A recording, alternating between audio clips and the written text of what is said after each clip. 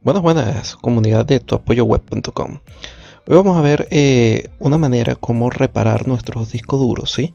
Sin necesidad de alguna aplicación adicional. Ciertamente existen muchas utilidades en el mercado que bien sean gratuitas o de pago, nos permiten examinar o reparar nuestros eh, discos duros, unidades de, eh, perdón, unidades extraíbles, pero desde Windows nosotros también podríamos hacer un chequeo inicial eh, o una reparación bastante básica sin necesidad de recurrir a ella. ¿sí? Entonces lo primero que tendremos que tener en cuenta es saber qué unidad es la que vamos a examinar. Entonces si nos vamos a nuestro equipo, por lo general aquí siempre salen las unidades, fíjense que entre paréntesis le asigna una letra, C, D, E, lo que sea. ¿sí? Entonces vamos a buscar dentro de nuestro Windows una aplicación que se llama CMD. ¿sí? Muchos lo habrán conocido, la consola de Windows. Entonces, algo eh, importante que nosotros necesitamos ejecutarla en este momento como administrador, con permisos administrativos. Entonces, vamos a darle un clic como eh, administradores. Él nos va a lanzar una advertencia aquí de Windows. Si queremos ejecutarlo, vamos a decirle que sí. Muy bien, entonces estando aquí, vamos a tipear un comando eh, que es el que nos permite hacer chequeo, ¿sí? Si yo lo escribo así nada más, él lo único que va a hacer es un escaneo, simplemente para saber cómo está nuestro disco duro. Eh, y si no le especifico alguna unidad en particular, él va a tomar la que trae por defecto en este lado izquierdo, que sería la S. Vamos a hacer la prueba, yo le doy Enter él se va a tardar unos segunditos, él empieza a hacer eh, la carga inicial. Y fíjense cómo arranca el diagnóstico. ¿sí? Él, después de esto nos va a presentar un pequeño resumen y va a esperar por nosotros, se va a quedar hasta ahí.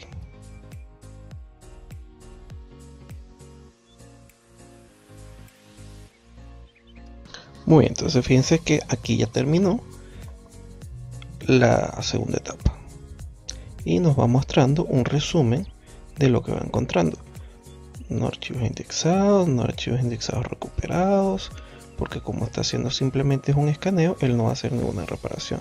Algo importante siempre a tener en cuenta cuando hacemos análisis de disco duro es este renglón de sectores defectuosos. Si el disco está presentando sectores defectuosos es bueno tenerlo presente para un posible cambio a futuro ¿sí?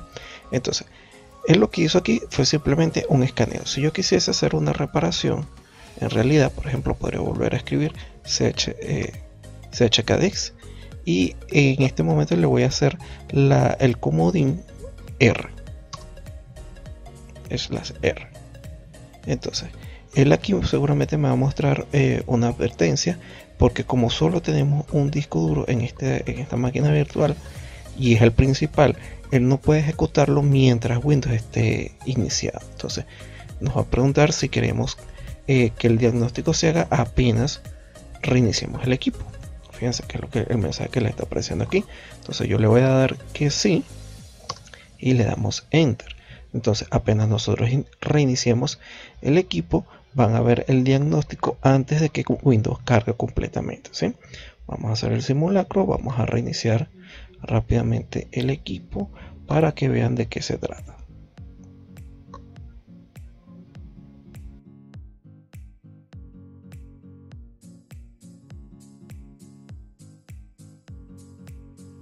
Fíjense que aquí me está saliendo en la parte inferior este eh, un anuncio diciendo de que si no presionamos ninguna tecla, él va a empezar el, el, escaneo. Entonces, ahora me lo está mostrando con otro tipo de pantalla. Fíjense que es simplemente una línea inferior donde me va mostrando un porcentaje de una serie de clústeres que está analizando dentro del disco duro. ¿sí? Entonces, esto no suele suceder cuando apagamos de forma errónea el equipo, cuando se nos eh, cortan la luz de manera abrupta y el equipo estaba encendido. Entonces esto es lo, generalmente lo que suele suceder, ¿sí? Que le hace un escaneo del disco duro para saber en qué estado se encuentra, si lo puede reparar antes de darle inicio a Windows propiamente dicho. Entonces vamos a esperar a que esto termine y continuamos con el video.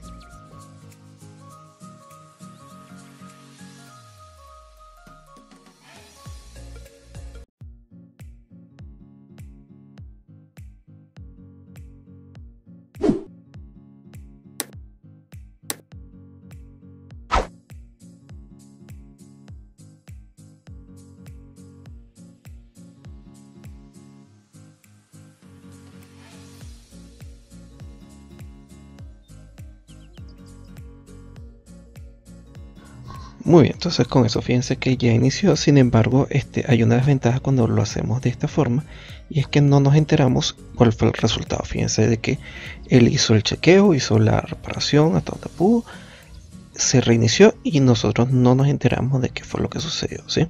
De todos modos, eh, hay una manera también de hacer esto sin necesidad de escribir los comandos. ¿sí?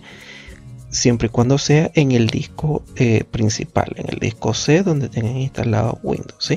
Yo desde una de las opciones de que trae Windows ya de por sí en las propiedades eh, del disco, yo le puedo decir de que me haga un escaneo de, de cómo se encuentra en este momento. Fíjense, nos vamos a ir a equipo.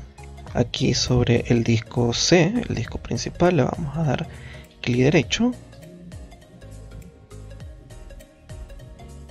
vamos a bajar hasta la última opción que dice propiedades. Y estando aquí eh, nos vamos a ir a herramientas. Y en esta primera opción fíjense que sale comprobación de errores ¿sí? esta opción comprobará si hay errores en el disco en el sistema de archivos de unidad. Perfecto. Si nosotros le diésemos aquí va a suceder exactamente lo mismo que sucede ahorita ¿sí? él hace un escaneo y una revisión del disco actual. Entonces eh, vamos a cerrar esto momentáneamente y vamos a ejecutarlo ahora de otra manera. Vamos a tratar de abrir nuevamente nuestra consola con derechos administrativos. Vamos a ejecutarlo como administrador. Muy bien le decimos que sí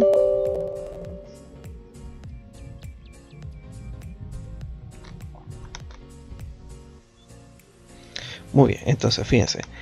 Eh, de, los, de las formas de chequear el disco, nosotros acabamos de ejecutar la más sencillita de todas. Si no sabemos eh, cuál comando utilizar, fíjense que yo utilicé el comando R porque ya lo conocía, pero si ustedes de repente se olvidan cuáles son los comandos, eh, los comodines existentes que trae este, este comando, vamos a escribir slash signo de interrogación y él nos va a mostrar todas las opciones que nos permiten jugar con este comando. Entonces fíjense que por ejemplo F corrige los errores del disco, B para eh, FAT32 o FAT y así sucesivamente podemos ir jugando con los comodines que nos presenta Windows.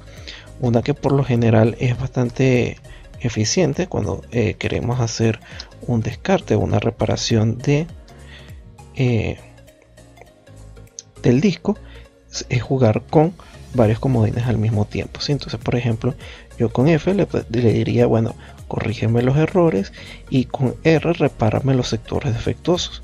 Entonces, estas dos opciones juntas hacen un escaneo un poco más profundo. ¿sí? Eh, muy bien, si en el supuesto caso yo quisiera eh, examinar algún otro disco que no fuese C, simplemente bastaría con escribir eh, la unidad. ¿sí? Por ejemplo, yo podría hacer algo redundante aquí, que es decirle check C. Pero esto se puede aplicar con cualquier eh, letra, ¿sí? cualquier unidad que tengamos. Ahora, eh, para los más curiosos, ¿sí? Eh, nosotros podemos crear un script que nos permita hacer el escaneo del disco y que eso nos lo guarde en un archivito eh, TXT para nosotros poderlo consultar después. Se dieron cuenta, cuando eh, hacemos los escaneos sobre el disco C, sobre el disco principal, él reinicia la máquina, hace todo, pero no nos dice qué fue lo que pasó. Entonces, eh, si esto lo estamos corriendo en varios equipos a, la vez, en una, una red más o menos grande, eh, se nos hace problemático. Entonces lo que hacemos en estos casos es generar un script, corremos esto en todas las máquinas y después simplemente lo que pasamos buscando es eh, esos archivitos TXT para saber qué fue lo que pasó con cada uno de esos equipos, cuál es el que está en buen estado, cuál es el que está en mal estado y tomar las medidas pertinentes. Entonces para eso vamos a crear un pequeño script.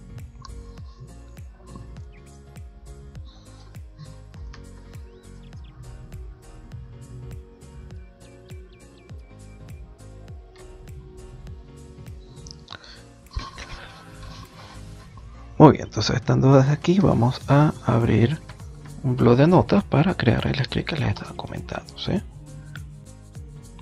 Muy bien, entonces arrancaríamos con nuestra primera línea y famosa echo off. después yo podría ponerle por ejemplo un mensaje eco escaneo disco no sé vamos a ponerle recursos humanos por poner algo ¿sí? entonces aquí escribiríamos el comando que nosotros deseásemos ¿sí? y va a ser un escaneo DC y podríamos ponerle los comodines que nosotros gustásemos por el momento voy a dejarlo solo eh, como de la manera más, más sencilla, ¿sí? Y vamos a decirlo de que esto me lo pase a un archivito que se llame escaneo.txt. Claro, si lo escribo bien puede ser. Aquí se me fue, pero escaneo.txt, ¿sí? Para evitar errores, entonces vamos a copiar esto, ¿sí? Y en la próxima línea le diría, bueno, créame el archivito txt, ¿sí?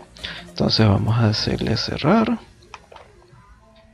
Entonces todo lo que haga este comando me lo va a pasar a este archivito que estamos por crear, ¿sí? Y de esta manera yo me quedaría como con una especie de reporte de lo sucedido en ese equipo. ¿Y aquí qué pasó? Vamos a decirle cerrar. Ajá, le decimos guardar. Vamos a decirle que nos los guarde en el escritorio para hacerlo de una forma visual vamos a ponerle de que él guarde todos los archivitos le decimos que se llame escaneo y le ponemos la terminación .bat ¿sí? entonces le decimos guardar ok ya no necesito esta pantalla le decimos cerrar y vamos a darle doble clic, ¿sí? Pregunta de las 500.000 lochas, ¿dónde se genera el archivito? Donde estemos ejecutando .bat, ¿sí? Vamos a abrir el archivo y aquí seguramente, fíjense, nos lanzó un error por temas de permiso, ¿sí? No tengo permiso suficiente. Si recuerden, lo primero que hicimos al ejecutarlo desde la consola era abrirlo como administrador, ¿sí? Vamos a ejecutarlo esta vez como administrador. Él nos va a pedir permiso. Le decimos que sí, que lo ejecute como administrador y fíjense que sale la línea de escaneo disco RRHH y él aquí todo lo que eh, reporte nos lo va a guardar en el archivito que nosotros creamos entonces bueno espero que les haya sido de utilidad esto es todo por el momento esto de todos modos lo pueden hacer eh, a gran escala como una eh, política de, dominio como una política por por escaneo de red, etcétera, etcétera. ¿sí? Cualquier comentario, duda o sugerencia nos los pueden hacer llegar por el canal. Nos vemos en un próximo video.